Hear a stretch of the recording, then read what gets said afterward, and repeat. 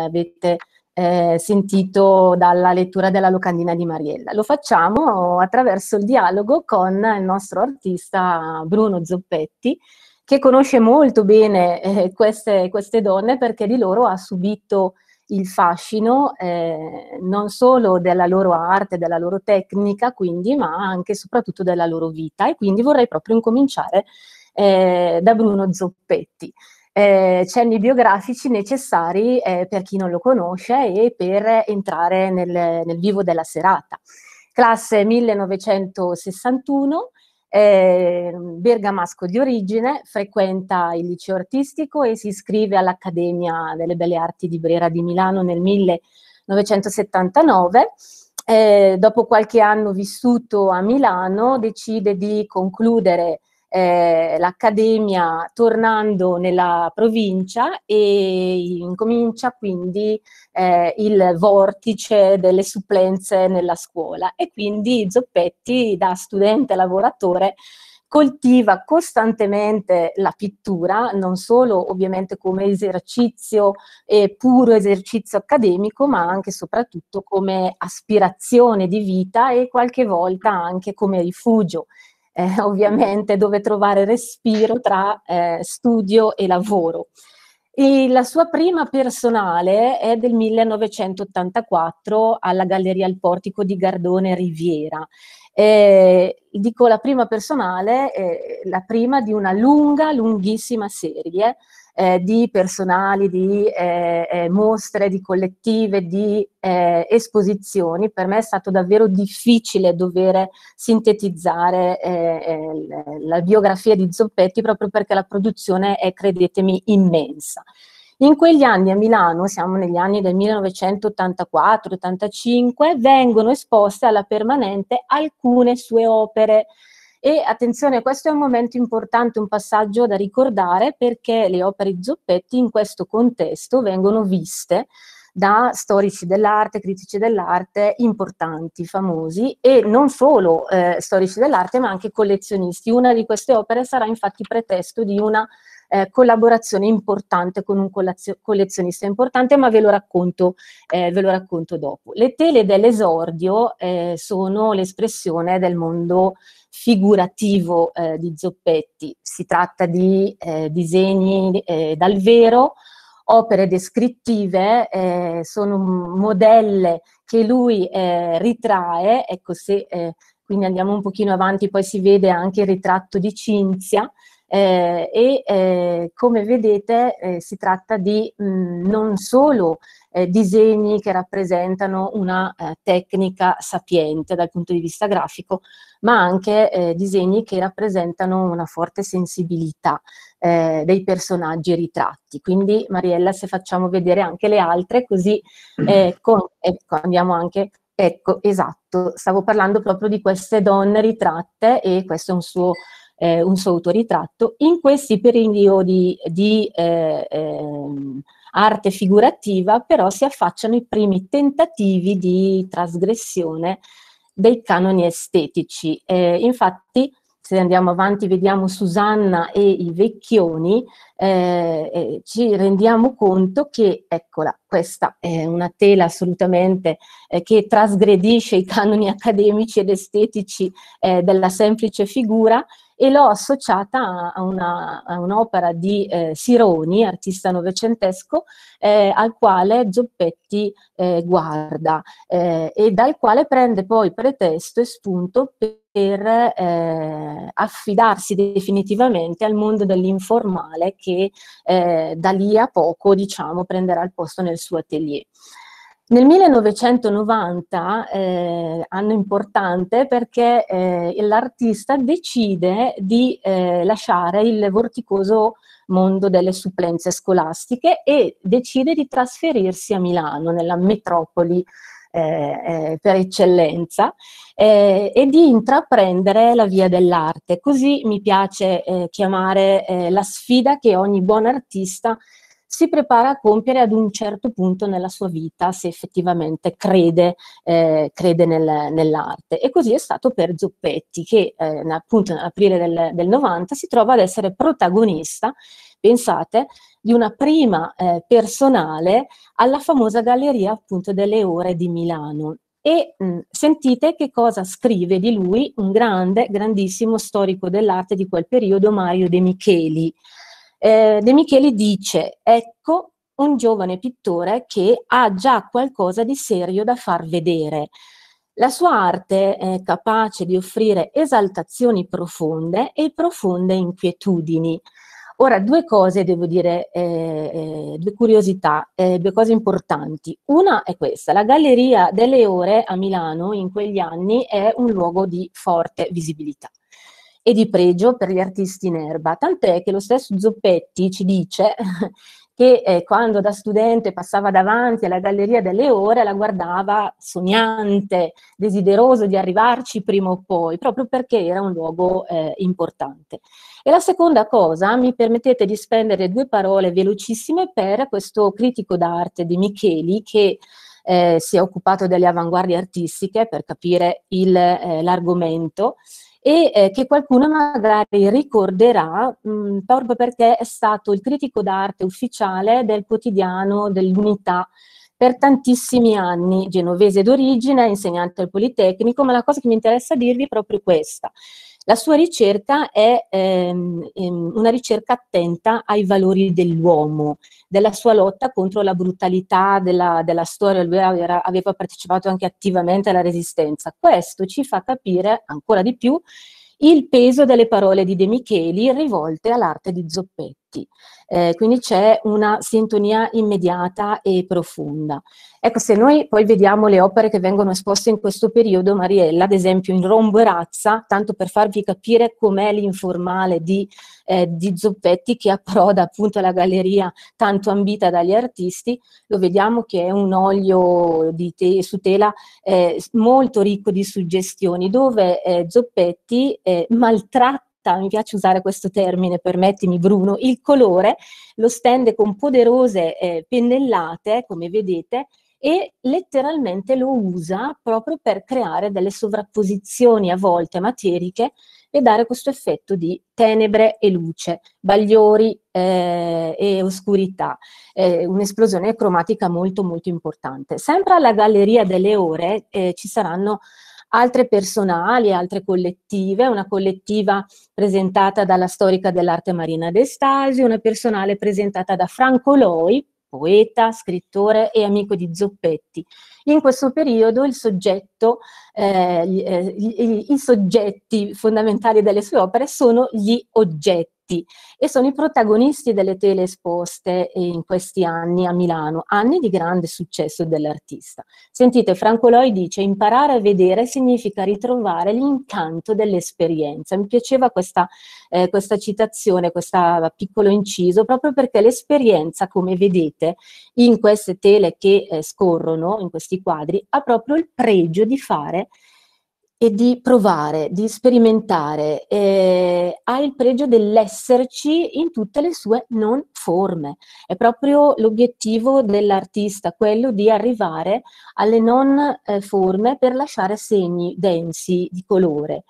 E ad esempio, se andiamo, andiamo avanti, Mariella, ecco perfetto, guardate tanto per capirci, ecco, esattamente, volevo proprio arrivare qui a quest'opera, Le Bagnanti, e se poi vai ancora un pochino avanti abbiamo le tre grazie, esatto, guardate, eh, in questo periodo eh, guarda, eh, l'artista guarda a un altro grande artista che è De Kooning, con la sua serie eh, dedicate alle donne, Woman, e lo stesso impasto materico, la stessa disintegrazione delle forme la ritroviamo in, in Zoppetti. Ecco, l'informale continua poi e assolve eh, i desideri espressivi dell'artista e piace anche a Mario Matasci.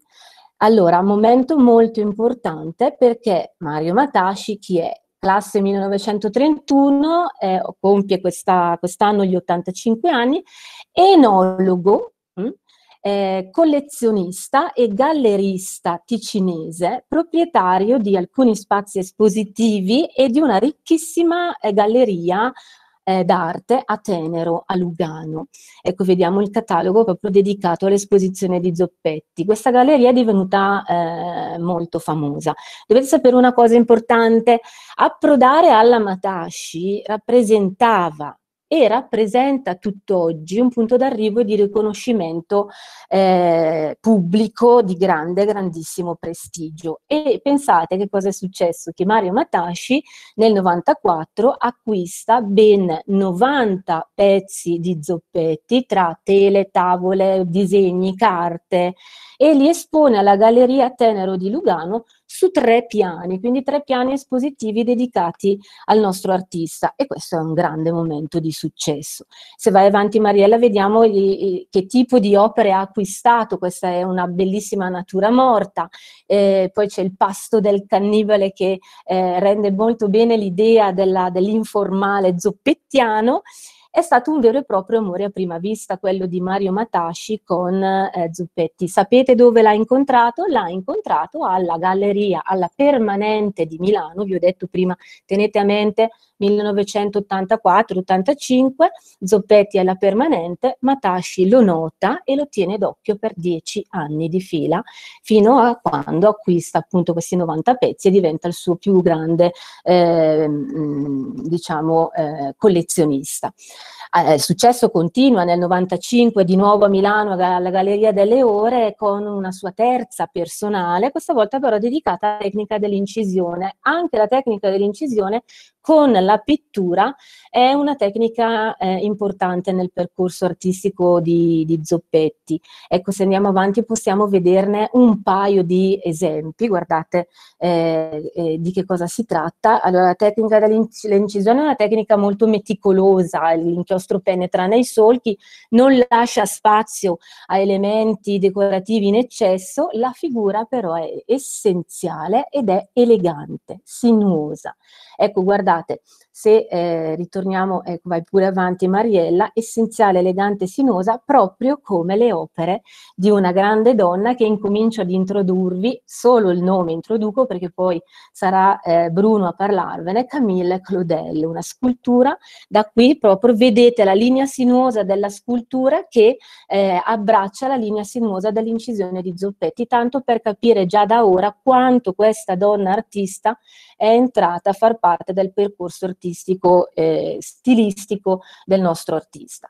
Zoppetti poi lo troviamo a Chiasso dove espone alla galleria il mosaico con una quarantina di opere dedicate proprio all'esposizione di, di, di, Zoppetti, ne vedete un, un, assaggio semplicemente e poi arriviamo a un momento importante. Siamo nel 1999 e anche l'anno questo di una grandissima, di una profondissima crisi che coinvolge Bruno e come succede almeno una volta nella vita eh, di un grande artista, così è avvenuto anche per Zoppetti. Una serie di sfortunati eventi gli impediscono di continuare a cavalcare l'onda del successo che con Matashi era e sembrava davvero vicina e come spesso accade al crollo professionale si unisce anche quello sentimentale e di colpo si affaccia la solitudine, il silenzio, la chiusura l'arte si fa dura introspezione, Zoppetti si isola nel suo studio, se la prende con le tele, con i pennelli, con le immagini, crea, distrugge, costruisce, disfa, ama e odia spudoratamente la sua arte, ma sarà proprio all'interno del suo piccolo atelier di provincia dove ritroverà respiro, salvezza e rinascita. E permettetemi ancora una volta l'arte come cura davvero di tutti i mali e ce lo insegna la letteratura della storia dell'arte. Eh, da Van Gogh, scusate, la, il, eh, cito eh, il più banale ovviamente, perdonatemi, da Van Gogh, ma il più conosciuto, alle donne libere e forti che questa sera Zoppetti ci racconterà. Vado avanti molto velocemente, faccio fatica a eliminare tanti percorsi perché nel 2000 poi eh, Zoppetti vince il concorso eh, scolastico e successivamente riprende la sua cattedra di discipline, di discipline pittoriche nei vari licei di Milano, ritrova consapevolezza artistica attraverso il fortissimo desiderio di una grande partecipazione sociale, desiderio eh, di partecipazione sociale da qui la scelta di essere presente negli ambienti non convenzionali e quindi i luoghi comuni della gente comune. Decide eh, di eh, rompere, quindi questa rottura con le gallerie, i musei, gli spazi, gli spazi espositivi d'elite e eh, tutto ciò lo riporta stilisticamente parlando a un ritorno all'ordine. Eh, lo vedete, ritorna alla figura, ritorna alla figura dalla quale era partito, vi ricordate no? le modelle dipinti dal vero, riprende confidenza con il disegno, con la musica che è sempre, sempre stata fondamentale nella, nella sua vita e ehm, riprende quindi i lavori da questo momento in poi saranno caratterizzati tutti da una indagine, da una forte indagine fisionomica ed espressiva. Eh, sono tanti, veramente tanti gli interventi, le esposizioni, le collaborazioni che dal 2000 in poi caratterizzano il percorso artistico di Zoppetti. Ho veramente quasi finito e eh, infatti vi voglio dire uno tra mh, mm, Mm, mm, mm, ho fatto fatica a selezionarli ovviamente, ma velocemente nel 2015 espone il politico eh, dedicato a Joe Hill, minatore, sindacalista e compositore svedese, lo espone al Circolo dei lavoratori di Iseo, tra l'altro eh, se non sbaglio la presentazione eh, di ehm, Franzinelli e eh, Milani del Circolo Culturale Ghislandi, nello stesso anno una, avviene una collaborazione importante con l'amico eh, Boris Savoldelli al Barbai di Pisogne, espone poi una serie di quadri a tema al Museo Le Fudine di, eh, di Malegno nel 2016, in occasione della festa del lavoratore su invito di eh, Pierluigi Milani e del Circolo Culturale Ghislandi.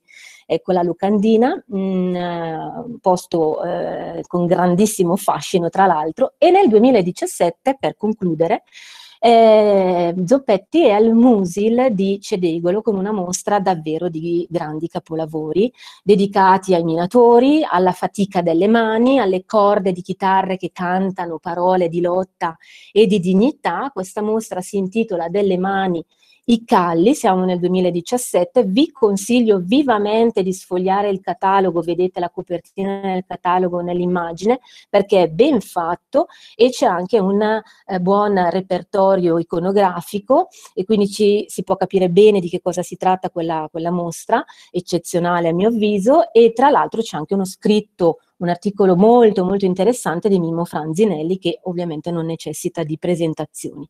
Le opere di Cedegolo ho veramente quasi finito, sono suggestive, mm, sono eh, dedicate a, a, questi sguardi, eh, a questi eh, corpi, alla, al movimento soffocato e soffocante che Zoppetti conferisce ai corpi, all'anonimato dei volti che in questo contesto è necessario per eh, far risaltare lo sguardo compassionevole dei minatori, eh, si percepisce davvero la fatica.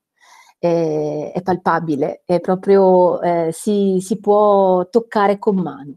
E eh, naturalmente possiamo pure andare avanti, Mariella, eh, vi anticipo, guardate quanto abbiamo alla, a, a, sinistra ancora un'opera di Zoppetti, a destra un'opera di Kete Kolbitz, un'altra grande artista che segnerà e segna molto e segna il percorso e lo stile di, di, di Zoppetti, guardate quanto di eh, Kete Kolbitz c'è nella, eh, nella, struttura eh, dei corpi e, della, eh, e, degli spazi di Zoppetti. Infine, siamo nel 2020, anno incredibile, eh, Zoppetti è presente a, a, alla cascina Clarabella di Iseo ed è presente con Fragili. Eh, Fragili è un complesso lavoro che Bruno ha ideato e realizzato eh, per Clarabella. Eh, si tratta di una serie di ritratti decisamente eh, a carattere psicologico, di nomi eh, più o meno famosi, eh, sono musicisti statunitensi, inglesi, italiani, eccetera, che hanno tutti in comune un grande talento e soprattutto eh, una vita in lotta contro i disturbi emotivi di varia natura. La mostra è stata ovviamente eh, più volte sospesa a causa dei vari impedimenti del caso, ma merita di essere conosciuta. E per questo eh, passo la parola alla curatrice eh, Roberta Martinelli che ha curato questa mostra a eh, Clarabella. Benvenuta Roberta e grazie Marta. mille per la tua partecipazione e, e, davvero raccontaci tu qualcosa di questo progetto Mostra Fragili. Eh, buonasera a tutti, bentrovati. Prima voglio, voglio, cominciare il mio intervento in maniera forse inconsueta, nel senso che di solito i ringraziamenti si fanno alla fine, ma per parlare di fragili eh, devo proprio partire da, dal dire grazie al maestro Bruno Zoppetti. Basta. Perché eh, Fragili non ci sarebbe stato senza la, la sua, innanzitutto la sua disponibilità e la sua arte, ma soprattutto senza la sua grandissima sensibilità. Eh, quindi lo ringrazio, lo ringrazio in questa occasione, eh, come sto facendo un po' in questi mesi, ecco che ci stiamo sentendo. Eh, Fragili è un progetto, è una mostra nata l'estate scorsa. Eh, conoscevamo già le opere di, del maestro Zoppetti e, e le apprezzavamo tantissimo. Eh, quindi gli abbiamo rivolto l'invito di poter ospitare una sua mostra, ma eh, non solo ha accettato ecco, questo invito, ma ha voluto creare una mostra proprio dedicata al progetto di Cascina Clarabella. Eh, per chi non conosce Cascina Clarabella, eh, è un consorzio di cooperative sociali che crea opportunità di lavoro per persone con fragilità psichiche. Di qui è il progetto Fragili, che è un progetto unico, nel senso che, eh, come illustrava prima Magda, eh, si tratta di ritratti di, ehm, di artisti del passato, mh, mm, tutti appartenenti al, al, mondo della musica, che hanno unito a un grandissimo talento eh, delle fragilità personali che si sono tradotte in dipendenza piuttosto che in, in depressioni, piuttosto che in altri tipi di, di, di, di sofferenze. Ecco. Eh, la mostra è stata, mm, ha avuto il patrocinio della, del comune di Iseo e anche la, della Asta Franciacorta eh, e eh, è stata presentata in occasione della giornata mondiale della salute mentale il 10 ottobre scorso. Eh, questo perché il senso della mostra era un po' duplice, ecco. era quello di dare un messaggio che eh, eh, la, la, fragilità psichica eh, può anche coesistere con un talento o più talenti e, e la mostra lo dimostra con tutte queste esperienze di artisti immensi e, e, poi c'era anche il senso di sensibilizzare sul tema delle fragilità psichiche, che purtroppo è un tema assolutamente attuale con quello che sta succedendo. Ecco.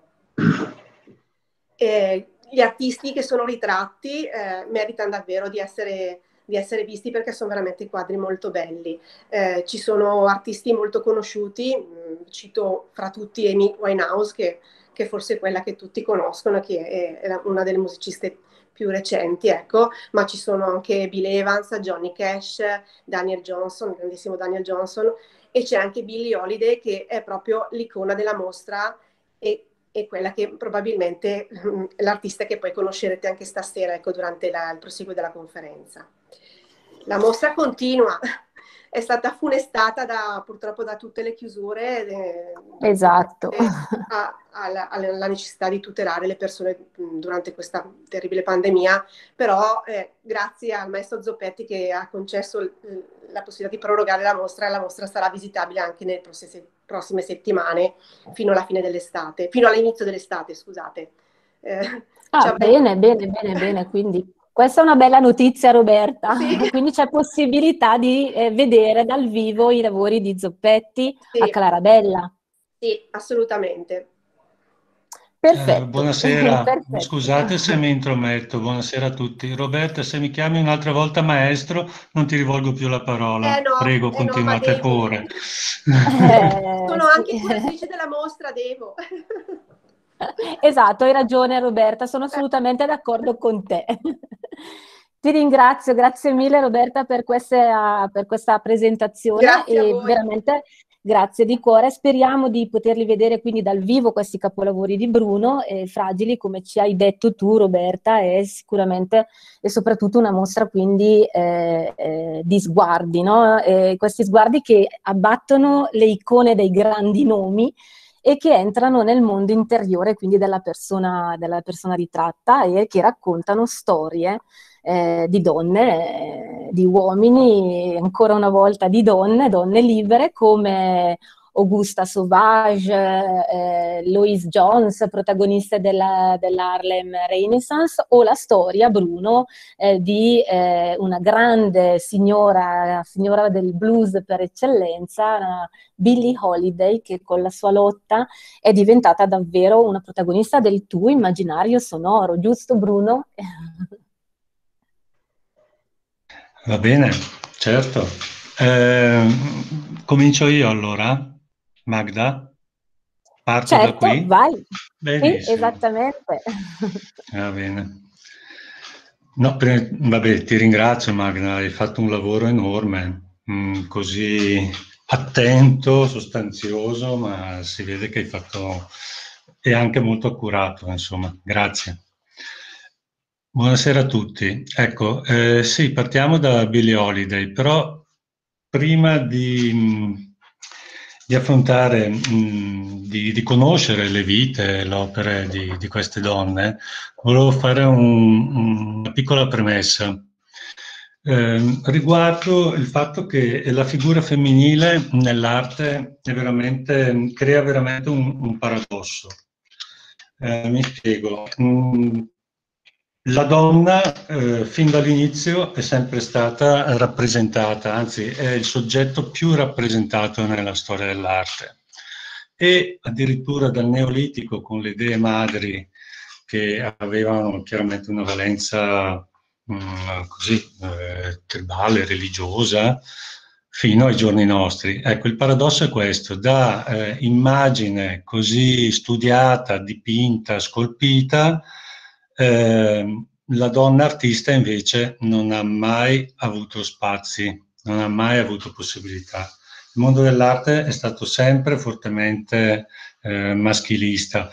Mm, adesso io mm, focalizzerò il mio interesse e vi parlerò della fine dell'Ottocento e la prima metà del Novecento e se riesco facendo anche qualche accenno a mh, mm, donne artiste mh, mm, contemporanee.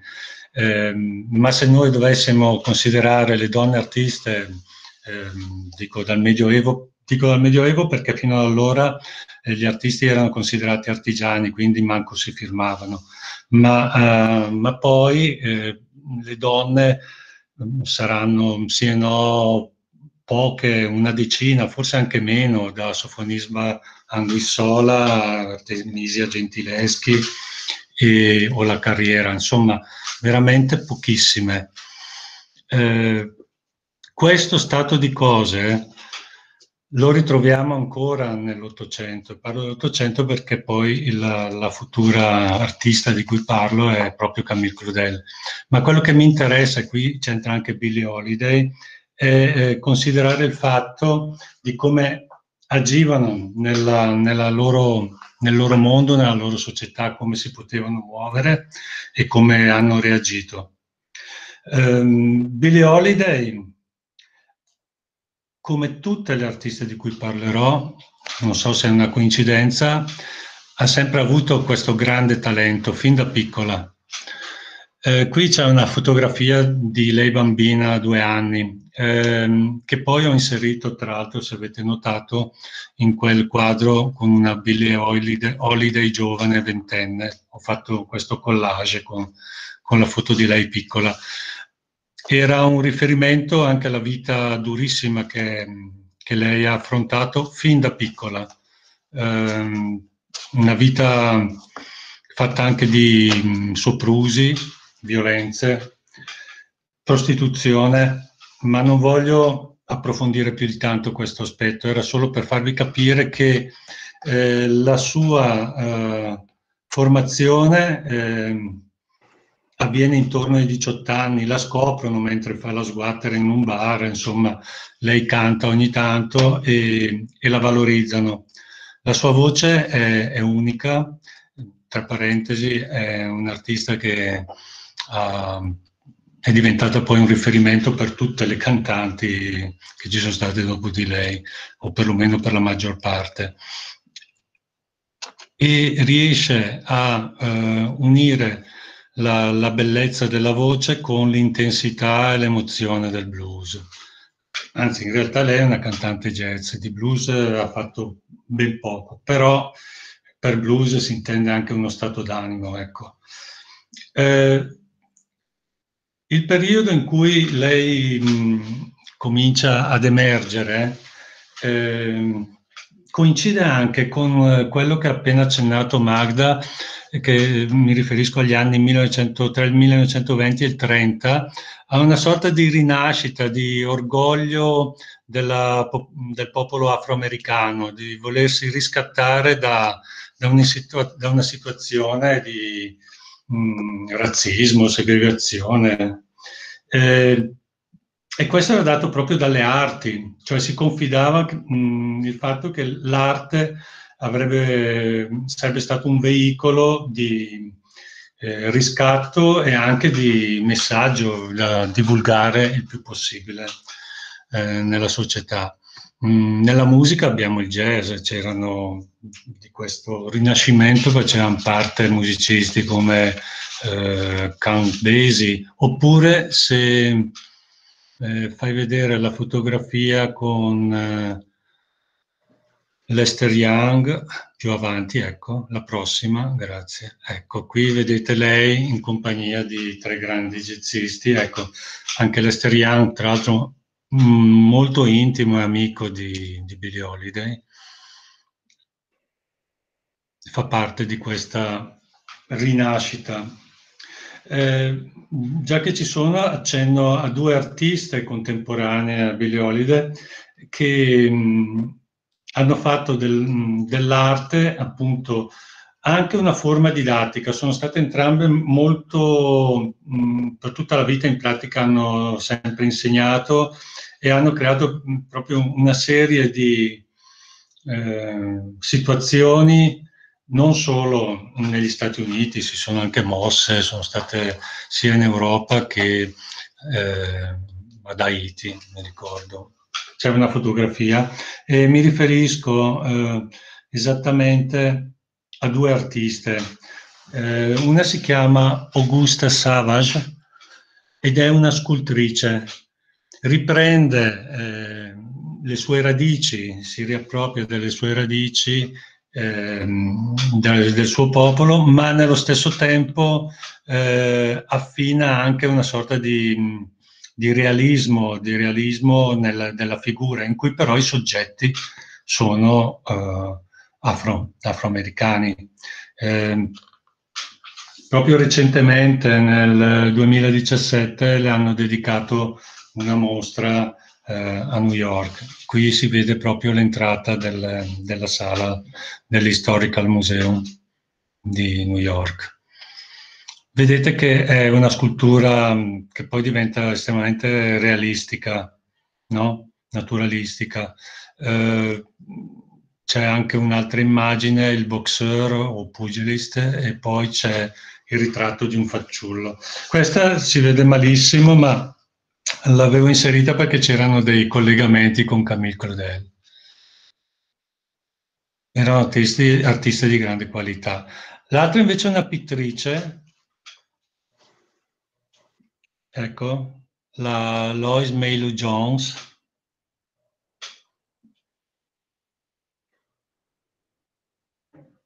Questa è la scultura ancora della Sauvage.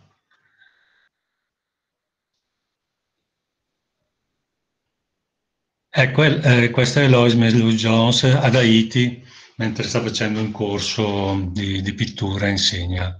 Eh, ci tengo a precisare che anche loro eh, avevano già avevano ancora queste condizioni di, di restrizione come donne artiste, ehm, nel senso che eh, la Jones, ad esempio, aveva eh, avuto una, una, borsa di studio per andare a Parigi che poi le, le è stata rifiutata perché donna di colore. Ecco, eh, il, la qualità grafica, se poi andare avanti, c'è un ritratto di Giovane Nero del 29. Anche qui siamo nell'ambito eh, realista.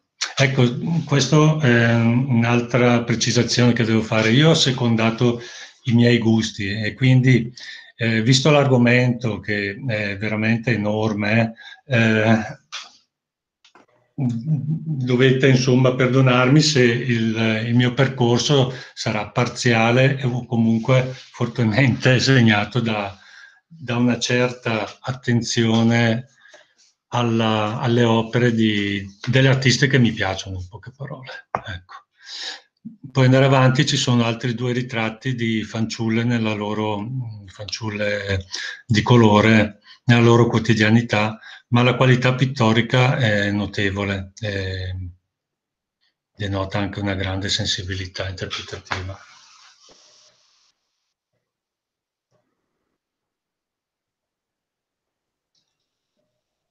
Ecco, ritorniamo eh, e concludo con, con Billie Holiday. Eh, Billie Holiday eh, fa un, un, gesto, un atto mh, mm, nell'arte, nella sua musica, che sarà dirompente e diventerà anche un, un, riferimento poi per le lotte contro il razzismo. Cioè esattamente nel 1939 una donna di colore canta una canzone eh, contro il razzismo, Strange Fruits. Questi frutti strani, ecco, prima era stata indicata una fotografia, si riferiscono proprio ai linciaggi e agli uomini di colore che venivano impiccati. E c'è proprio una foto del 39 che eh,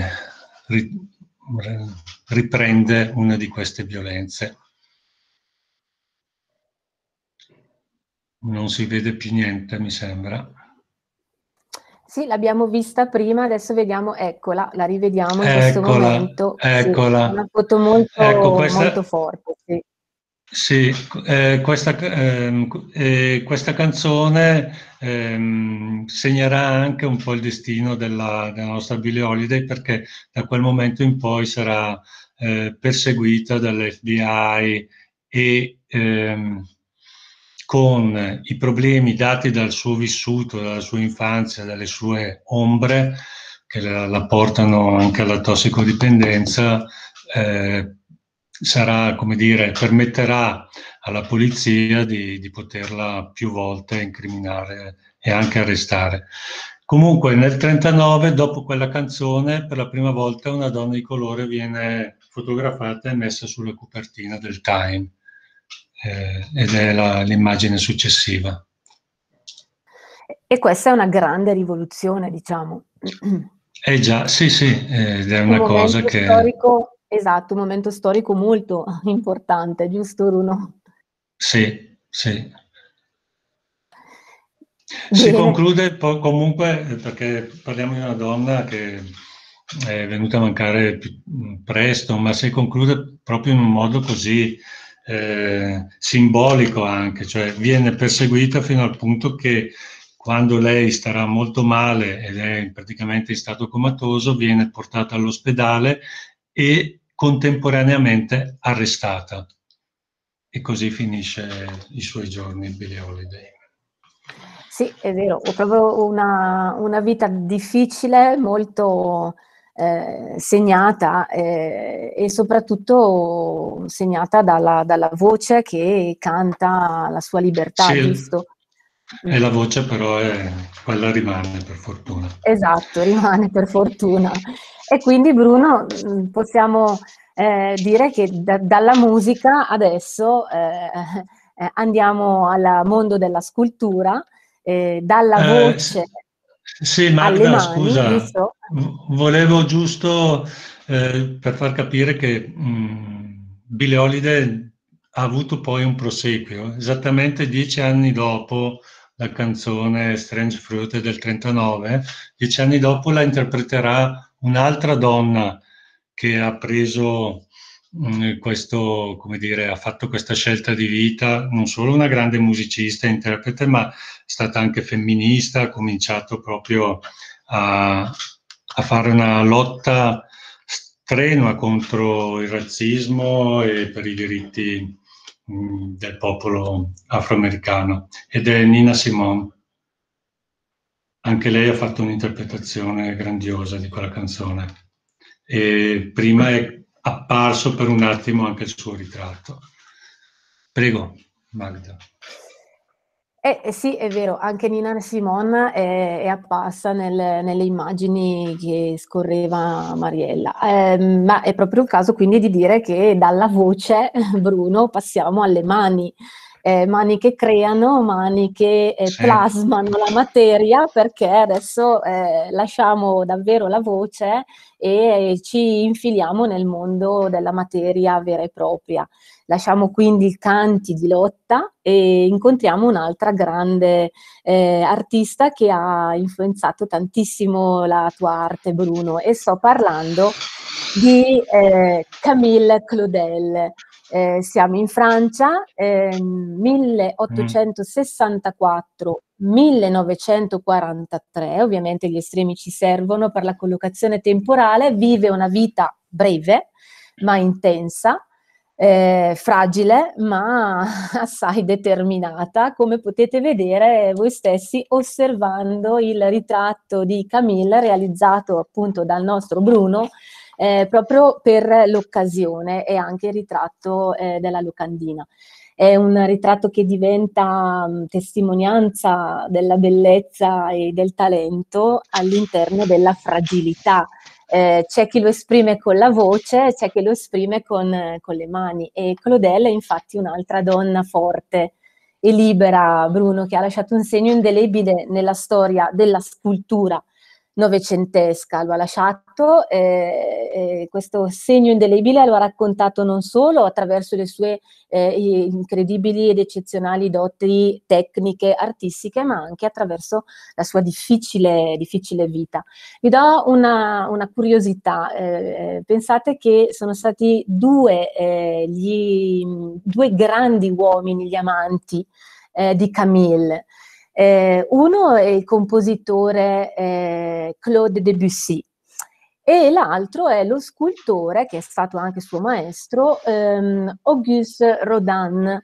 Eh, e eh, sentite che cosa dice eh, Rodin eh, di Camille Claudel eh, e poi ti passo immediatamente la parola, eh, Bruno, proprio perché da Camille poi tu eh, no, ci racconterai altre donne che hanno influenzato la tua arte. Rodin dice eh, di Camille, ha una natura profondamente personale che attira per la grazia e respinge per il temperamento selvaggio.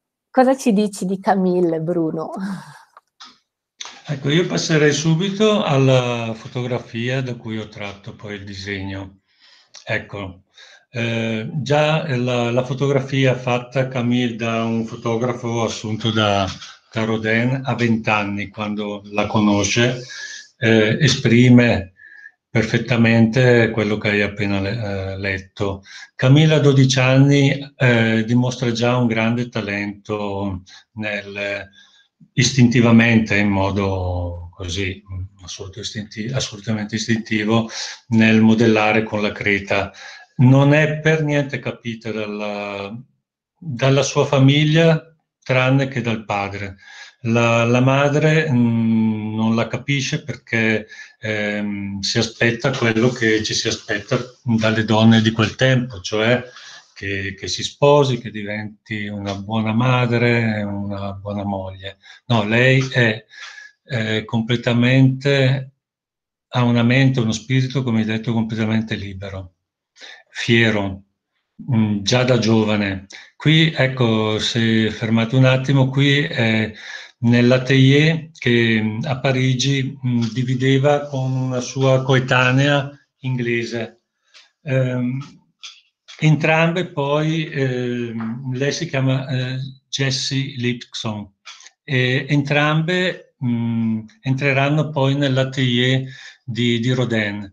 Rodin le scopre in questa accademia per sole donne. Ecco, dovete sapere anche questo, che eh, nel 1800, nella fine dell'Ottocento, le accademie normali, classiche, erano precluse alle donne. Mm, non potevano disegnare i nudi e allora avevano creato queste scuole per sole donne.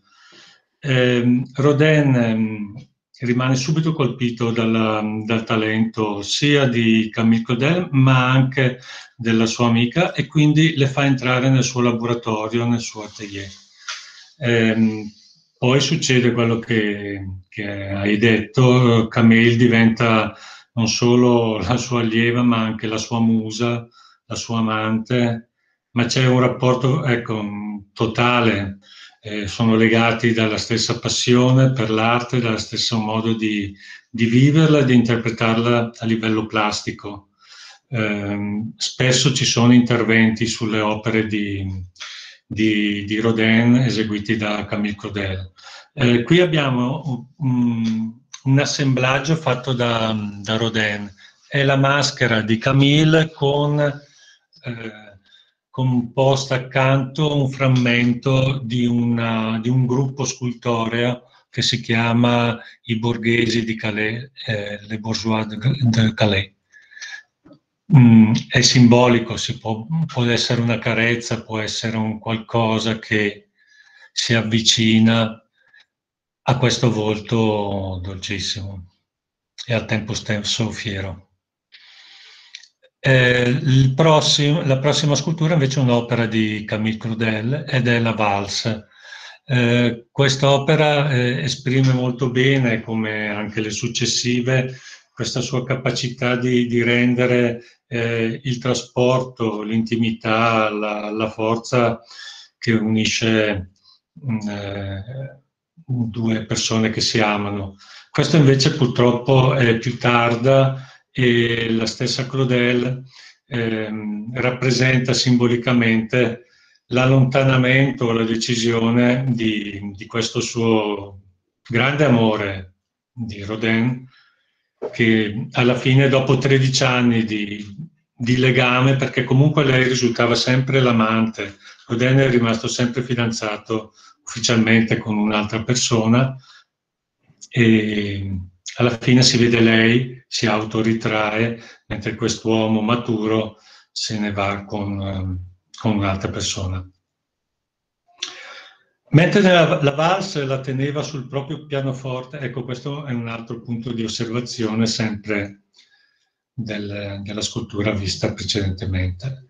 La valse la teneva sul pianoforte Debussy, eh, ma è stato un incontro, non si sa bene fino a che punto eh, così profondo. Certamente erano legati, Debussy era innamorato di Camille Cordel, ma quando Rodin eh, tornò da un tour che aveva fatto per... Era un uomo, un artista di grande successo, un artista con committenze, impegni, e in un periodo di assenza, quando è tornato, si è ripreso eh, in mano la situazione e sono andati avanti per 13 anni, dicevo. Poi alla fine Claudel ha capito che non c'era futuro e tutta la dedizione che aveva, dedica- che aveva fatto, sì, che lei resistesse tutto questo tempo, crolla e eh, decide lei di, di lasciare Rodin.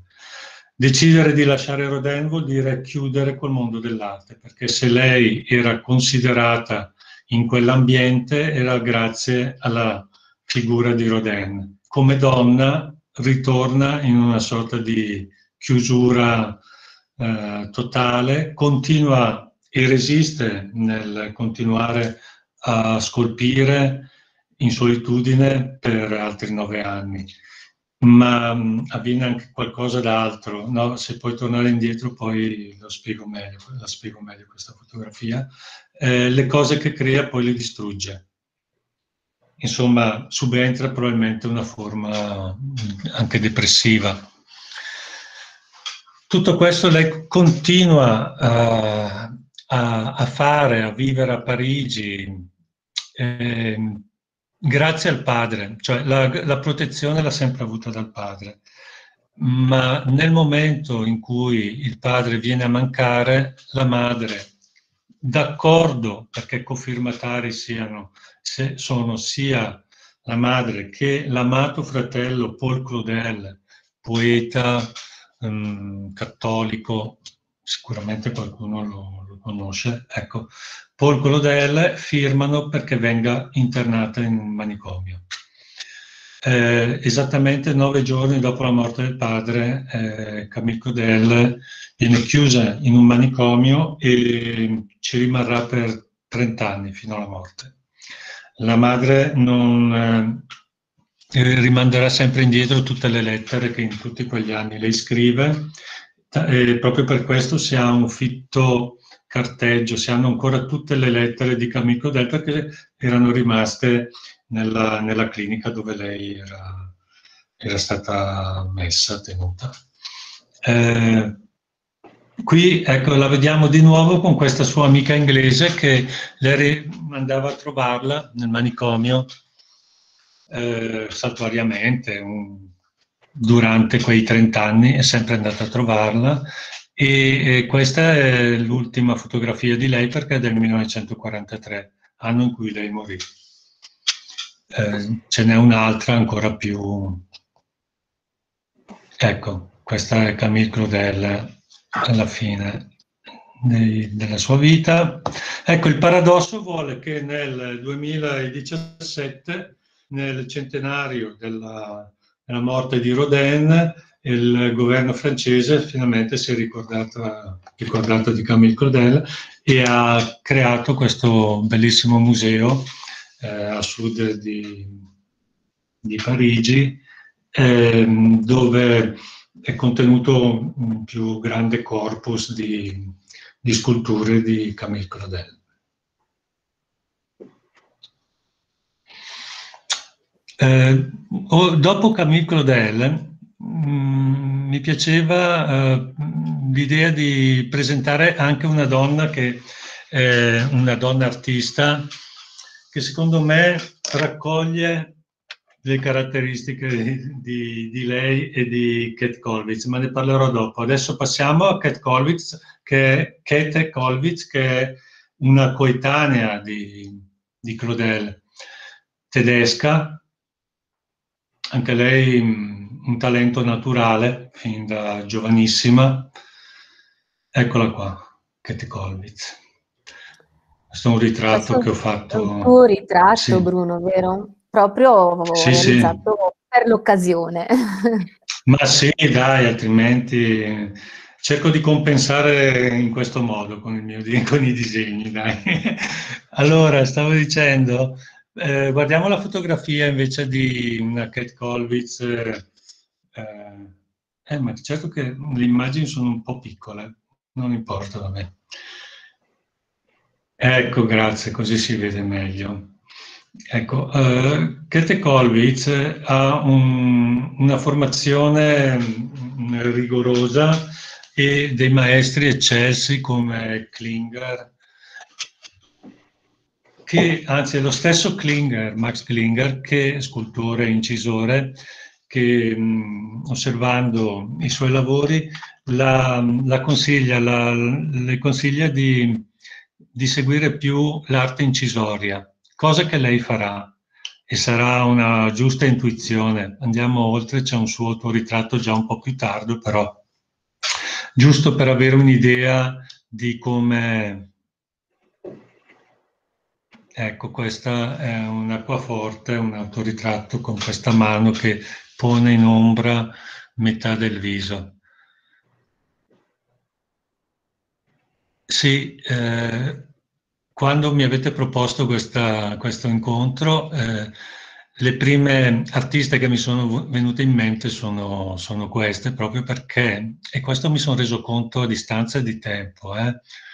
Eh, ad esempio una Kate Kolwitz, io um, l'avevo eh, subito, mi aveva subito colpito quando ero poco più che ventenne, e credo che mm, nel, nell'evolversi, nel continuare poi la propria esperienza, la propria vita, queste, mm, questi artisti, la loro, la loro, arte ti rimane dentro, ti rimane dentro e, e, poi sfocia, come hai fatto notare tu, ad esempio, nel, nel gruppo di, di minatori che, che ho dipinto. Cioè, io faccio sempre l'esempio esatto, della, sì. della, della, catena, insomma, o, ogni artista in qualche modo è legato con, con il passato, siamo degli anelli, degli anelli, di una catena, ecco. E quindi mh, qualcosa del passato e l'ho riscontrato anche in, in artiste, donne, eh, come anche uomini contemporanei, c'è sempre un confronto, l'unica differenza è che eh, noi siamo persone, artisti del nostro tempo e quindi risentiamo e ci mettiamo quello che il nostro tempo ci, ci trasmette, la, la, realtà, la società d'oggi. Eh, andiamo avanti, c'è un, uh, un'incisione del 1897, è una madre sul eh, sulla, sulla, culla de, del figlio, del figlio malato. Ecco, è un anno importante perché coincide con l'anno in cui eh, Cat Kolbitz eh, farà una serie di fogli che si intitola La rivolta dei tessitori. Comunque potete notare la, la, qualità del segno, l'intensità. Ecco, c'è sempre una forte partecipazione di, di sentimento, di emotiva nel, nel, suo, nel suo lavoro. E c'è anche forte un messaggio sociale. Ecco, Katie Kolwitz si sposerà con, con Carl, che è un medico, mh, socialista e che per scelta a Berlino farà il medico condotto proprio per aiutare eh, la popolazione più, più, debole, insomma, più povera. In questa casa, quindi, eh, la casa è frequentata da, da, molte di queste persone che diventano al tempo stesso soggetto e suggestioni per, per l'opera di Kat Kolwitz. E poi c'è l'aspetto anche diciamolo pure, eh, di, di, lotta sociale che, che, traspare, appunto guardiamo il foglio del ciclo La rivolta dei, dei tessitori. Mm. Ecco, è uno dei, dei fogli eseguiti. Eh, narra di una, di una rivolta mh, mm, avvenuta nel 1842 nella Slesia contro eh, gli imprenditori che avevano abbassato ulteriormente il salario e, e quindi creando un po' le premesse di, di, quello che sarebbe poi stato il 1848. Vedete delle donne che stanno raccogliendo delle pietre dal selciato e le passano agli uomini per, mentre protestano. È una rivolta che finirà drammaticamente nel sangue. E infatti eh, eh, la, l'incisione successiva, di cui ha preso esempio anche Magda, è la prigionia di questi dei tessitori.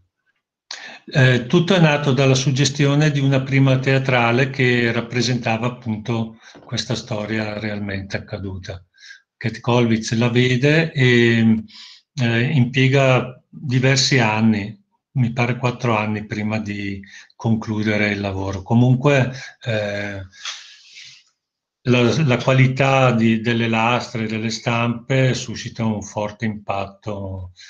Anche in questo caso doveva essere premiata con una medaglia d'oro di un premio che si dava in Germania, ma poi è stato negato perché donna ci tengo a ricordare questi momenti perché la condizione femminile fino a, a, praticamente fino al 1970, quando poi col femminismo succede qualcosa di nuovo, è quasi sempre così, è sempre la stessa. Anche durante le avanguardie artistiche, le cosiddette avanguardie artistiche del Novecento, ma ne parlerò dopo.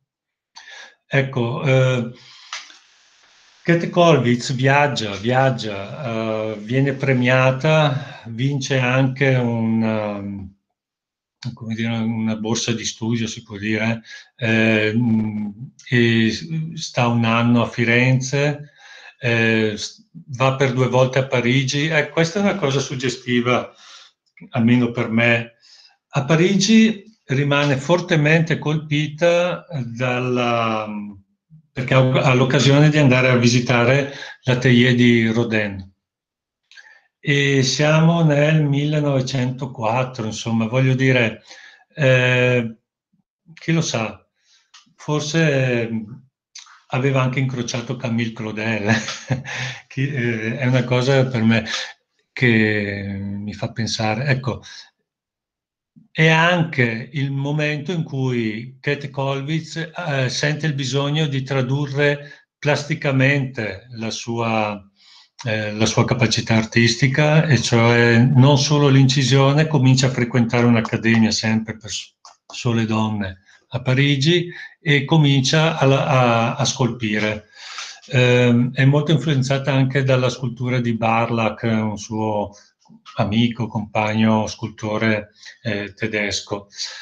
Qui ho voluto rappresentare, cioè ho voluto farvi vedere forse la, la scultura più rappresentativa di Kat Kolwitz ed è, si intitola I genitori, è l'omaggio scultoreo ai caduti della prima guerra mondiale. Tenete conto che Kat Kolwitz perse il figlio, il secondogenito, il più giovane, nella prima guerra mondiale e rappresenta proprio uh, lei, in, poi eh, quando prosegui si vede anche l'altra figura, sono il padre, ecco, che ha le fattezze ed è il ritratto di Karl Kolwitz, il suo marito, e lei raccolta in questo dolore infinito.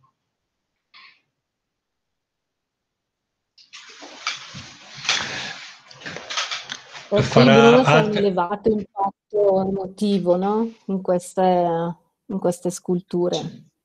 Sì, eh, ecco, eh, sì. non so se hai notato, ma c'è costante, tu avevi fatto quel riferimento a Van Gogh, ma senza, come dire, non vorrei semplificare, ma è molto forte in queste donne la, la parte della loro biografia, della loro vita con quello che stanno uh, realizzando. Più in Camille Claudel e in eh, Kate Kolwitz c'è anche questo aspetto di eh, rappresentazione, di eh, denuncia di soprusi, ad esempio nel, nella prossima tavola c'è una xilografia. Ecco, negli ultimi anni si dedicherà anche alla, alla xilografia che è una tecnica incisoria, in pratica si, si leva sul, ehm, si incide su tavole di legno, di frutto, e, ed è proprio nel, nell'animo, nella tradizione tedesca. C'è un grande amore per la grafica nel, in Germania e la xilografia è una di quelle, di quelle tecniche più dure da un certo punto di vista, ma anche più di impatto. Ecco.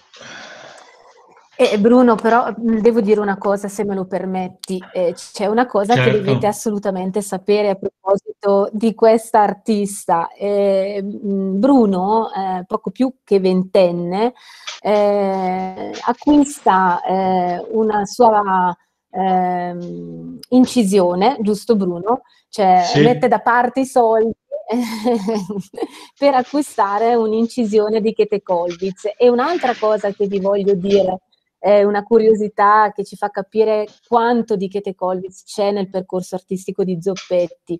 Kete Kolwitz Bruno la scopre al liceo artistico, se non sbaglio, ed è grazie a, a alcuni tuoi docenti, professori che ti portano a vedere le mostre, eh, che ti suggeriscono libri, letture, eccetera, giusto Bruno? Perché il liceo artistico sì, certo. per te è stato un grande, una grande scuola di vita più che di tecnica, diciamo, no?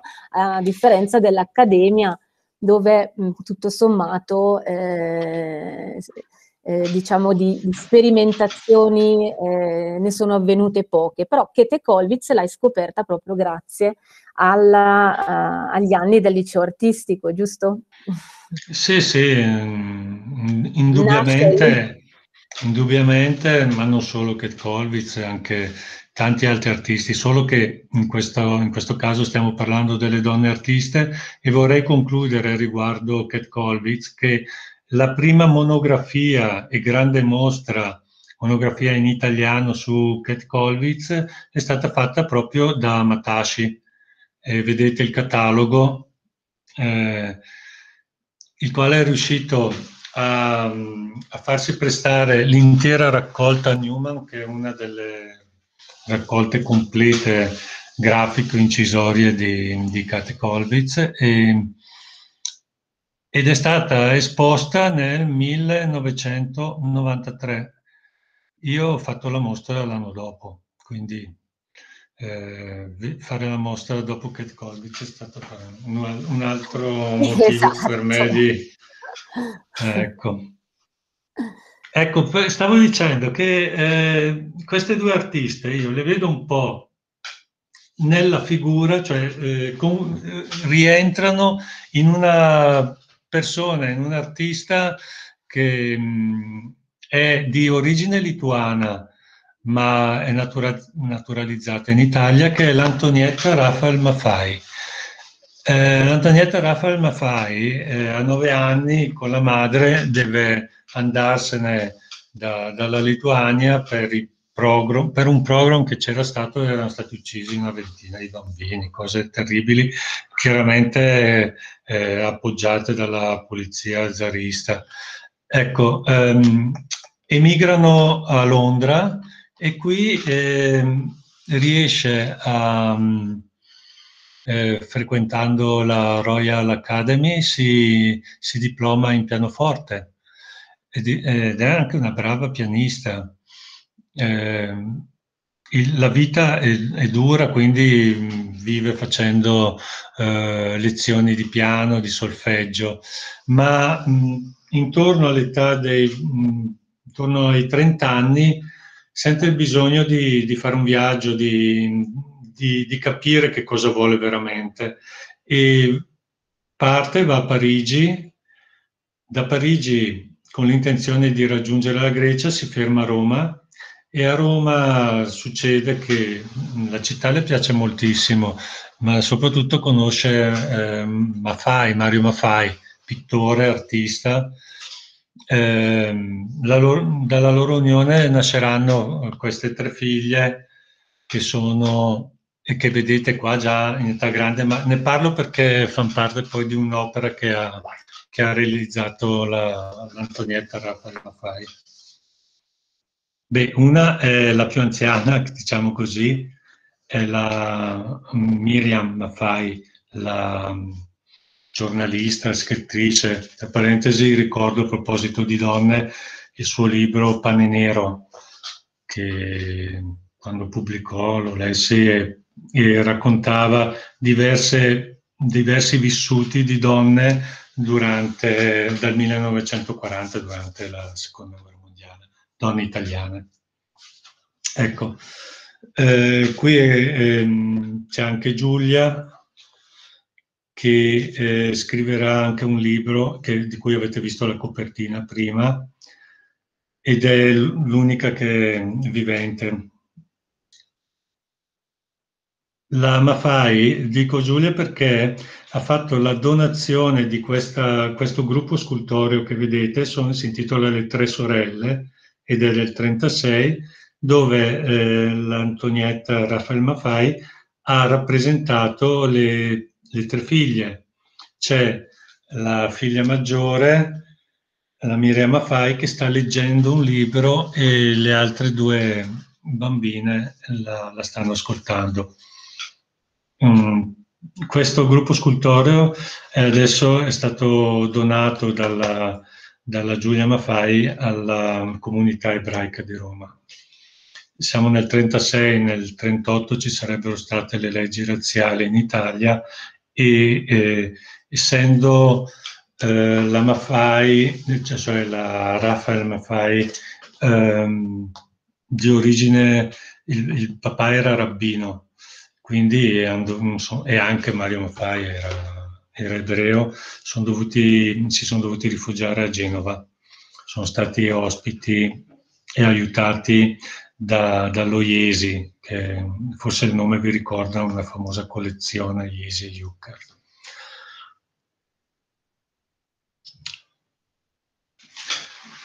Loro, mm, il loro periodo romano, quando stanno a Roma prima di, di, que, di quegli anni cupi, eh, vivono una dimensione comunitaria, artistica molto, molto intensa, hanno frequentazioni con Scipione, con quella che sarà chiamata da Longhi la scuola romana, di cui fanno parte anche loro.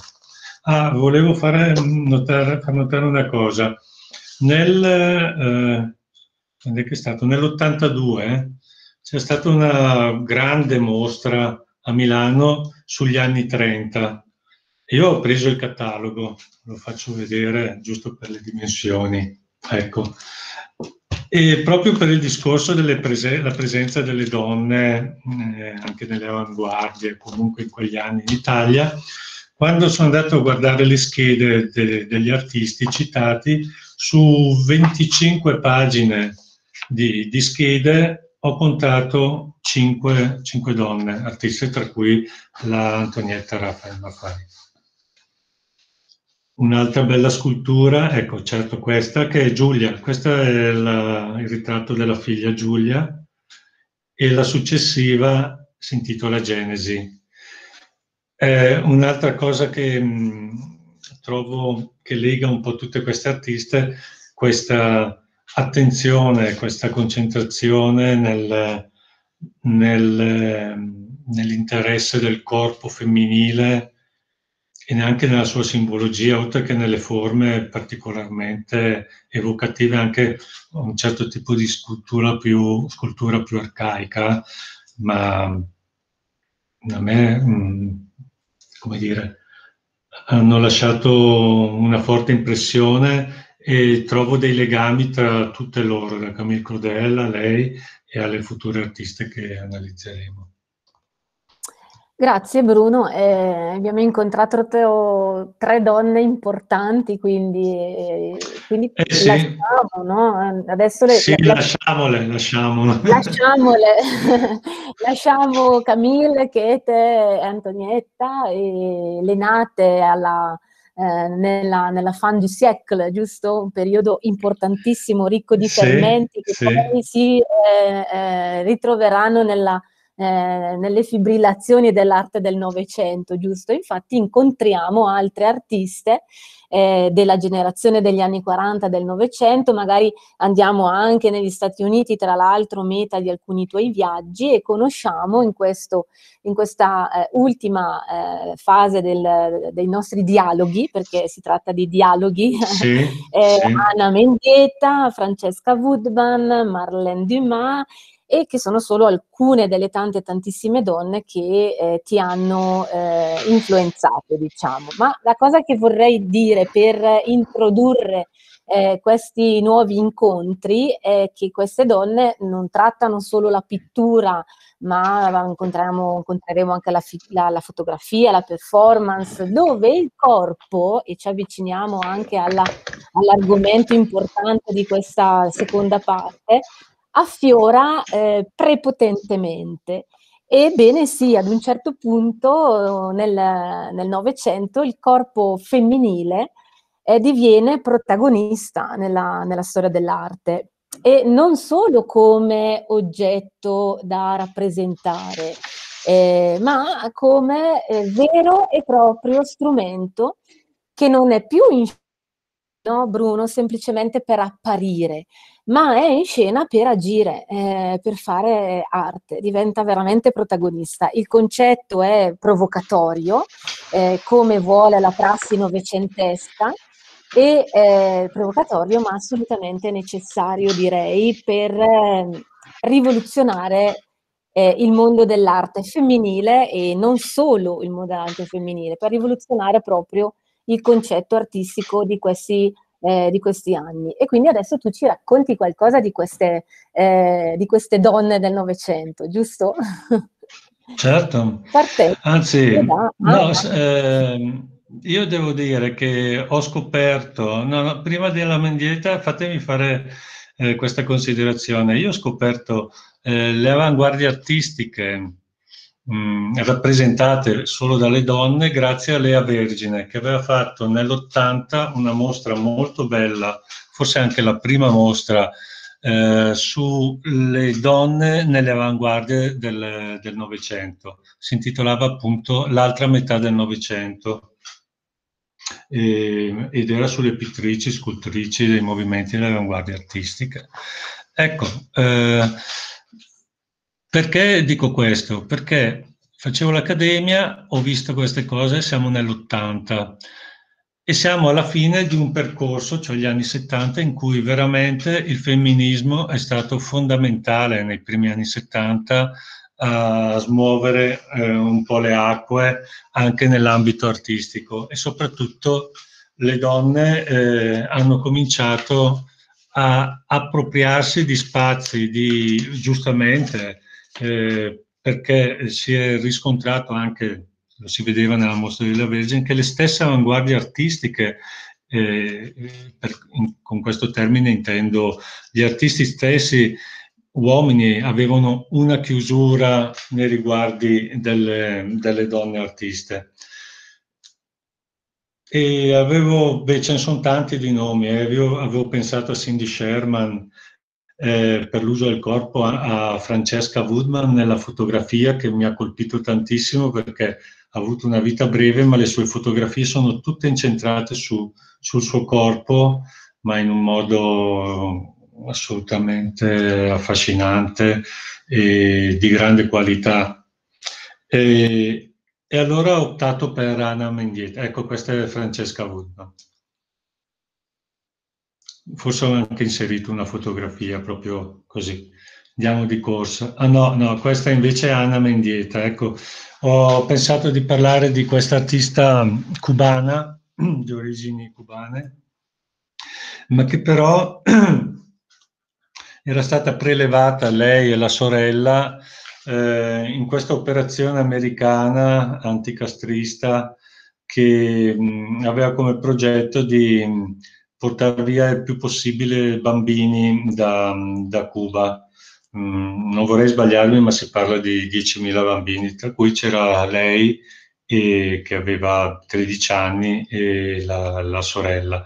Dico questo perché poi in, per diversi anni eh, vivrà in questi campi di, di profughi, insomma si sentirà senza una terra, senza un riferimento, finché riesce ad arrivare nell'Iowa dove eh, frequenta gli studi d'arte e nel, nel 70 decide di, di, non utilizzare più la pittura come linguaggio, ma la, le performance, cioè usare il proprio corpo soprattutto per denunciare violenze. Ha delle intuizioni interessanti come questa dell'utilizzo del, di un vetro dove lei preme il proprio corpo, il proprio viso creando queste deformazioni mh, mm, che turbano. Ecco, una cosa che spesso si riscontra nell'arte di queste donne, ma è proprio per, eh, per denunciare appunto le violenze e quindi creare anche delle immagini forti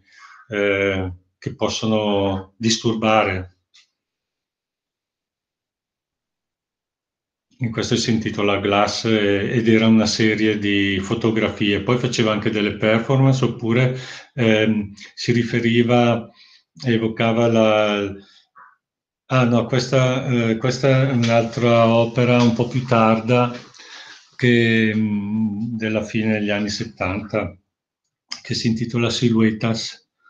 E eh, in pratica eh, vabbè, evoca gli elementi, sì, sempre con questa forma femminile che dovrebbe rappresentare il suo corpo, ma c'è anche un, ecco, c'è anche un elemento costante che è quello del, eh, della terra, del, dell'origine.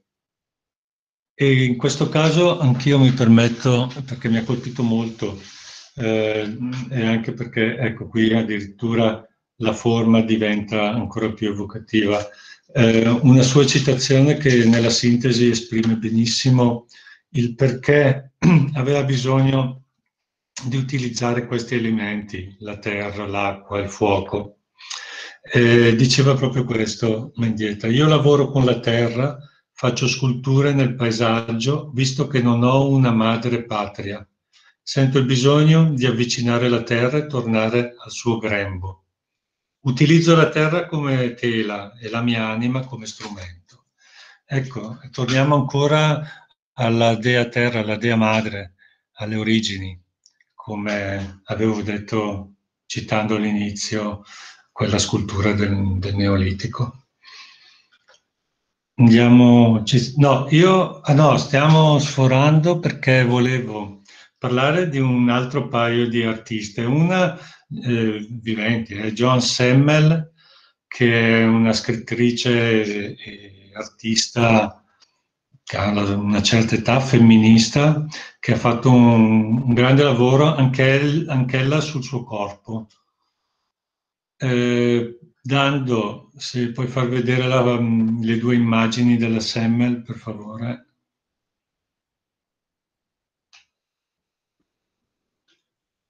Eccola qui, questa però è più tarda. Questo è uno dei, dei lavori del, del 2000. Eh, ecco, qui era per far vedere come lavorava. Lavora con la fotografia sul suo corpo, da dei tagli particolari in cui il volto mh, mm, è praticamente inesistente, ma il corpo stesso, ecco, adesso puoi far vedere la traduzione pittorica, questo è lo studio iniziale. Ecco, un'immagine piccola.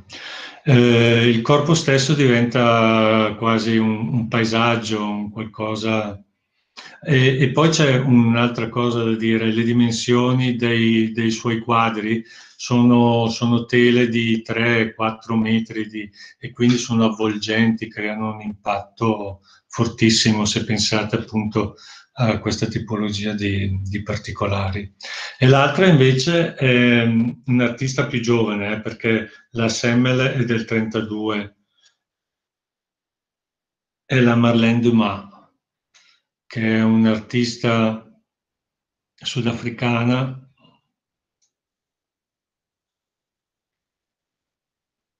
che non si vede. Arriva, arriva, eccola. Eccola qua. Eccola sì, Marlene. Farvi... ecco, Marlene ora eh, attorniata dai suoi grandi acquarelli. Anche lei è un'artista che eh, volutamente mh, mm, per certe scelte io mh, mm, non mi posso soffermare troppo perché lo stesso avviene anche con la SEML, fanno ehm, delle tematiche, delle scelte eh, piuttosto forti. Non so, la Semmel aveva documentato negli anni 70 con eh, la, dire, l'adesione della coppia una serie di rapporti sessuali che poi lei eh, traduceva in quadri con colori molto violenti. Eh, la stessa cosa lo fa la Dumas con degli acquarelli piuttosto spinti che io non ho messo, ma ho inserito comunque delle immagini come eh, questa serie di, di, teste femminili, dove spesso eh, predilige anche ritratti famosi, ma anch'essi controversi. Eh, abbiamo citato prima, um, ecco, questo è già uno dei, dei suoi lavori un pochettino erotici. No, dicevo, ecco, controversi perché mh, ha fatto ritratti di Pasolini, di, eh, anche della stessa eh, Amy Winehouse e si confronta a questo aspetto. Il materiale di cui lei fa uso sono eh, immagini fotografiche prese da riviste, ma si confronta anche con gli antichi. Eh, se vai avanti c'è un, eh sì, questa è terribile, cioè, è la serie dei, dei, suicidi, in cui c'è, mm, ecco, questa sarebbe, ah, ah, non l'ho messa, ma c'è la fotografia nell'obitorio di Marilyn Monroe e lei ha fatto tutta una serie di, di studi di questa immagine terribile. Ecco, qua si confronta con Holbein. Eh, è esplicito il riferimento proprio da pre da Holbein nella figura sottostante, mentre eh, quella sopra è una fotografia che è stata volgarmente rubata da un tabloid inglese a Michael Jackson quando stava nelle, in, queste, in questa camera iperbarica. Sapete che aveva tutte queste fissazioni su, sulla salute e quindi c'è questo aspetto. Oppure eh, situazioni legate alla politica, qui è, è la moglie di Lumumba eh, che, che, gira a lutto dopo l'assassinio di, di, suo marito nel 61. Lumumba è stato un ministro eletto de- democraticamente in Congo, ma che dopo pochi mesi è stato eliminato perché evidentemente dava fastidio per gli affari, i, i malaffari di quel paese. Ecco, questa è la traduzione pittorica della nostra Marlène Dumas. A questo punto ho pensato una cosa, mi sono permesso, visto che abbiamo parlato di, di queste artiste eh, viventi, viventi, ma lontane oppure che non ci sono più, invece di coinvolgere un artista eh, stasera, un'artista donna, eh, il cui lavoro mh, mm, stimo molto da sempre, eh, lei è di Treviso, però è stata adottata da Brescia perché penso che sia vent'anni ormai che vive a Brescia eh, ed è Dania Zanotto. Ho pensato di coinvolgerla perché eh, penso che le sue riflessioni su come vive eh, la realtà artistica una donna eh, di oggi eh, siano molto più pregnanti di tutto quello che ho detto io fino adesso. Prego Dania Zanotto. Ciao allora, Ciao, grazie, grazie Bruno, grazie a tutti tutti quanti anche per questo invito, così adesso io mi tolgo un po' di sassolini dalle scarpe. No scherzo. Allora, quando Bruno mi ha invitato a, per, questo, io, per, per, questo, intervento, eh, ho pensato di articolare il discorso, e giuro che sarò brevissima, in cinque punti focali, che sono cinque punti focali che ritengo importanti nel descrivere il processo creativo per, una, per un percorso artistico femminile.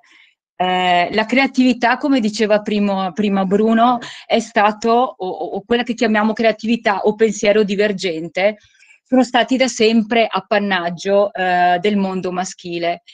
Eh, questo perché sia l'ambiente sociale e culturale ha adesso smorzato, prima addirittura impediva la possibilità dello sviluppo di attività creative femminili. Eh, e, e, possiamo fare due esempi eh, in passato le donne dovevano utilizzare degli pseudonimi per essere credibili, pseudonimi maschili. Ora invece, se noi, eh, io insegno al liceo artistico assieme a Bruno e diciamo che la popolazione studentesca per l'80 al 90% è femminile. In accademia la stessa cosa. Di fatto però eh, gli artisti eh, maschi eh, sono quelli che sono più presenti nell'ambito delle gallerie, eh, della comunicazione dell'arte. Ehm, Detto questo, però, ci sono le neuroscienze che vengono a nostro favore. Cioè, il, il cervello eh, femminile lavora in maniera molto diversa rispetto a quello maschile. Eh, l'uomo utilizza soprattutto l'emisfero sinistro. L'emisfero sinistro è anche detto il cervello dell'ingegnere, che è specializzato nei processi linguistici però diciamo che l'uomo utilizza soprattutto quest'area, cioè la parte del cervello sinistro.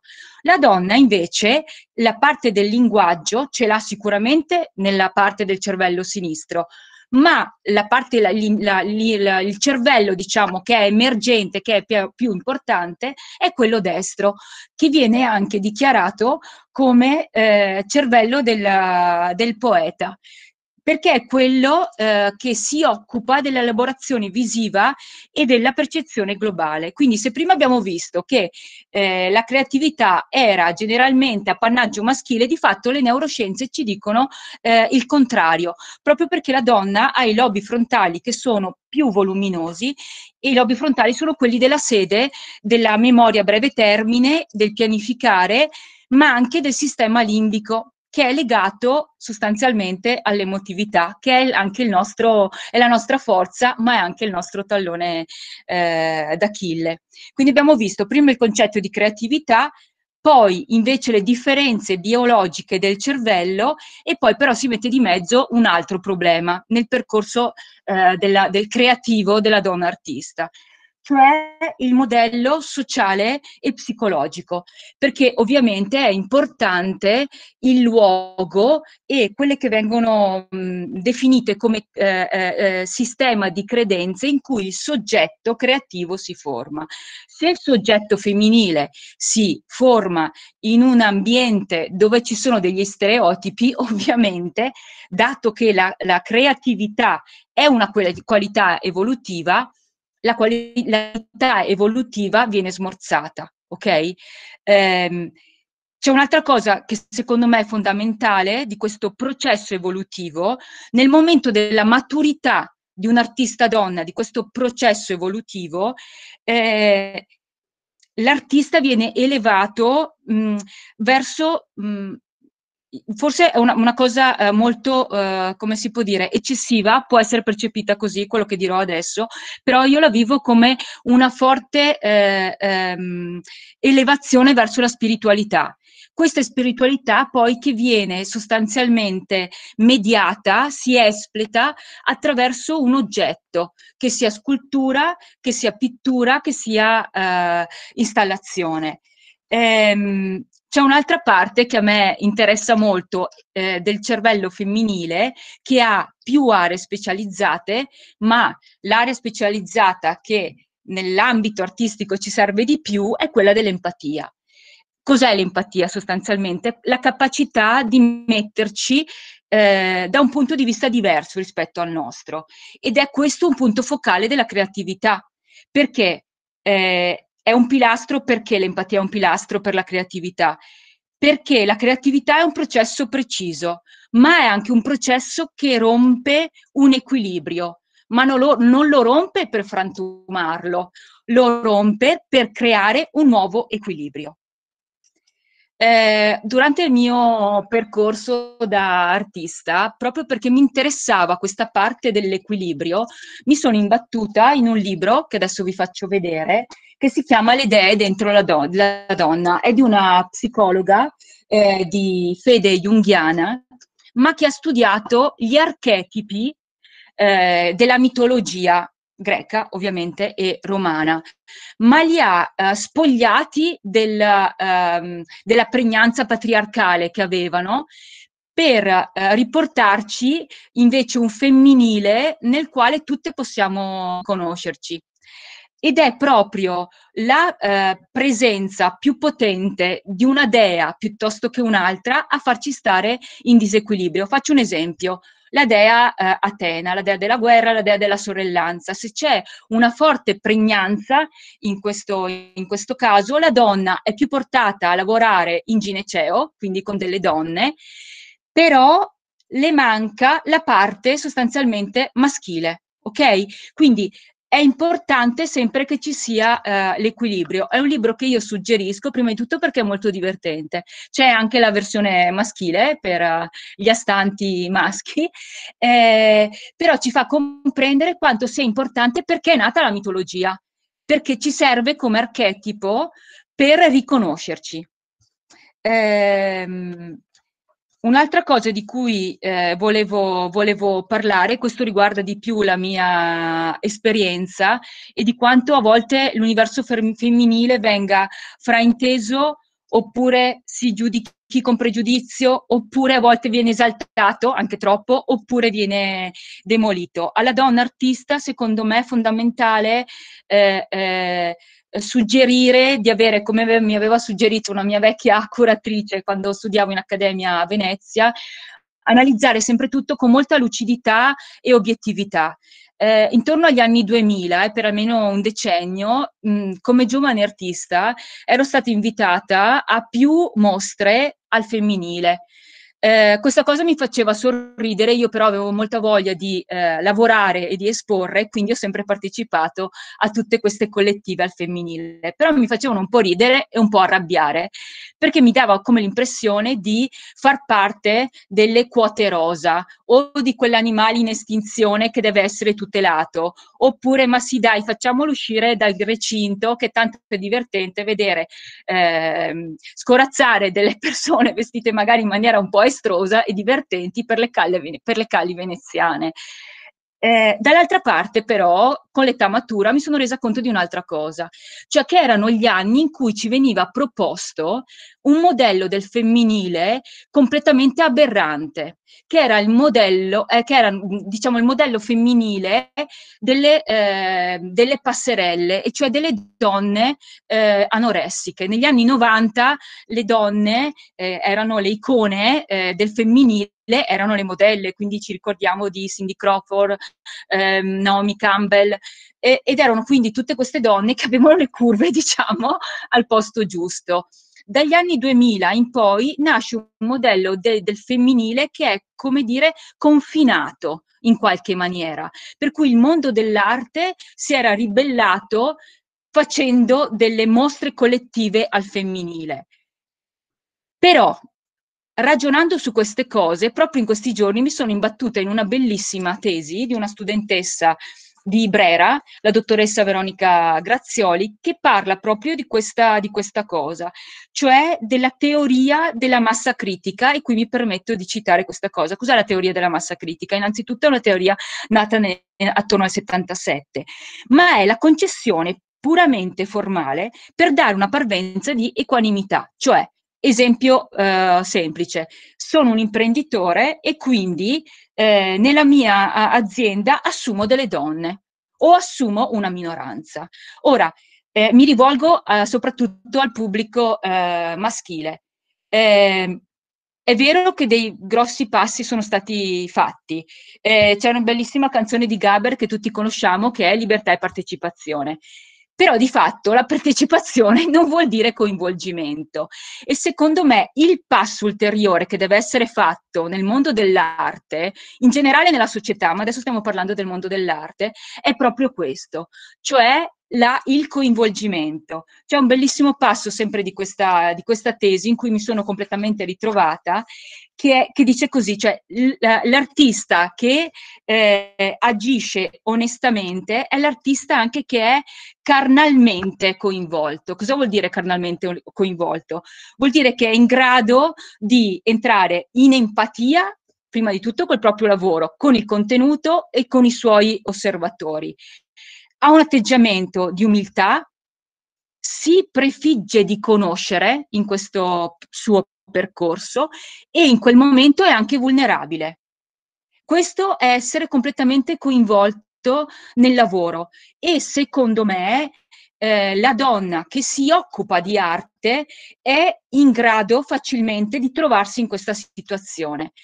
Però questa situazione è anche il nostro tallone d'Achille, cioè l'emotività, l'eccessiva empatia, perché a volte ci fa bloccare osservando o ehm, eh, essendo co- troppo coinvolte eh, in quello che facciamo, quindi perdendo la lucidità. Eh, perciò Un'altra cosa che, che, secondo me è fondamentale in questo processo della creatività è che per arrivare al punto eh, focale del nostro contenuto artistico è che eh, non possiamo fermarci alla semplice empatia perché se no manchiamo di raccontare la giustizia, la giustizia, sociale, che è un punto fondamentale di cui l'arte contemporanea adesso si deve occupare, assolutamente perché il periodo della provocazione, che è nato prima con le avanguardie a inizio del Novecento, poi come diceva Bruno prima, negli anni 70, adesso ce lo dobbiamo togliere un po' di mezzo per ragionare invece su altre tematiche. Quindi non solo empatia per parlare anche della giustizia sociale, non solo l'autocensura perché non ci permette di essere lucide in un giudizio etico. Non solo la spettacolarizzazione, perché quante artiste usano il proprio corpo, il proprio giovane corpo, perché c'è un ritorno anche nel mercato dell'arte. Questo ci impedisce di avere un'inclusione eh, reale. C'è una bellissima ehm, frase che dice Bergonzoni in uno spettacolo e dice ma dobbiamo vedere la morte per capire la morte, cioè la realtà già ci sbatte di fronte tutta la sua tragicità, no? L'artista quindi non può fermarsi a narrare una situazione, la deve avvocare. Le donne artiste non possono permettersi, soprattutto in questo periodo storico, di essere delle autrici, ma devono essere delle iniziatrici. Eh, concludo dicendo questa, questa, cosa che spero non risulti banale, però io penso che l'arte sia un grande gesto di generosità, un grande atto di, di generosità, perché in quel momento tu sei davvero eh, vulnerabile, ti sei messo in gioco sotto tutti i punti di vista, però hai bisogno di donare quella cosa eh, c'è una, una, una, frase che io ripeto molto spesso quando vengo in, invitata alle conferenze e anche ai miei studenti, che è questa, cioè l'arte ha, ha il potere di mettere in connessione più mondi. Allora dico alle donne artiste che dato che abbiamo il cervello preposto per fare tutto ciò, adesso chiudo e sembro magari una femminista, infatti lo sono, eh, usiamolo, cioè usiamo questa, questa nostra uh, capacità e anche questa nostra bellezza nel fare. Eh, forse sono stata troppo stringata, però visto che sono, erano le 10 e, e, e 15, quindi io concluderei così e spero di essere, di, di essere stata un po' chiara. Grazie Dania. Grazie.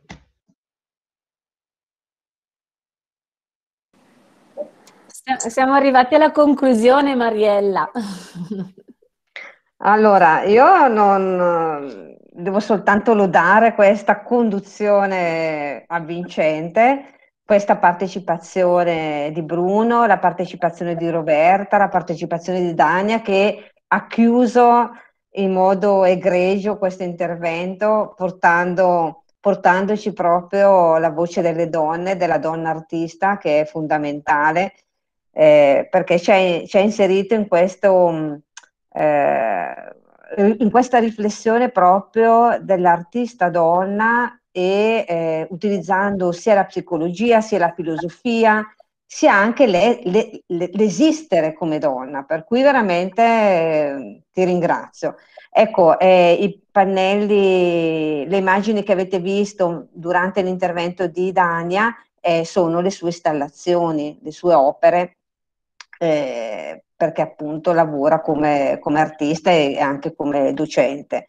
Eh, allora, l'unico intervento che c'è stasera, perché ci avete lasciato senza parole, si può dire, è una, un intervento eh, di Boris che è arrivato, Boris Savoldelli, che è un amico di Bruno, eh, che ci ha accompagnato in una delle immagini questa sera eh, in una sua iniziativa eh, una a Magda, eh, grazie a tutti i relatori per la bellissima serata. Ehm, e poi Carlo Medici, bell'intervento, insomma tutte delle lodi meravigliose. Di domande non ce ne sono perché ci avete proprio raccontato le donne artiste eh, partendo dal 1800, dalla metà del, dell'Ottocento fino ai giorni nostri con Dania come rappresentante delle donne di adesso e Bruno, la voce maschile, che comunque ci ha dato eh, una bellissima immagine di un uomo che vede le donne dal punto di vista delle donne. E questo è veramente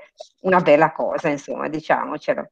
Eh, per cui chiuderei la serata se ci, so, se ci fossero delle domande ulteriori, ma direi che